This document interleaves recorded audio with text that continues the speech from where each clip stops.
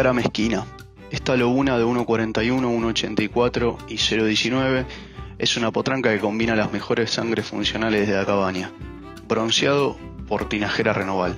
Muy linda, muy moderna, de muy buena musculatura y morfología, equilibrada y armoniosa.